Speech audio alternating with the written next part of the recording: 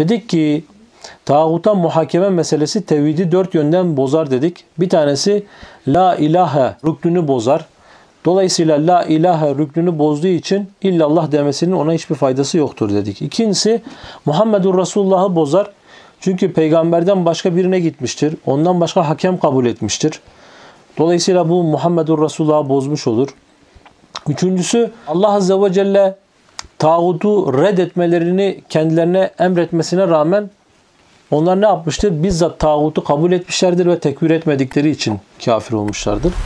Dördüncüsü tağutun muhakemesine gittiği zaman bizzat onlara ne yapmıştır?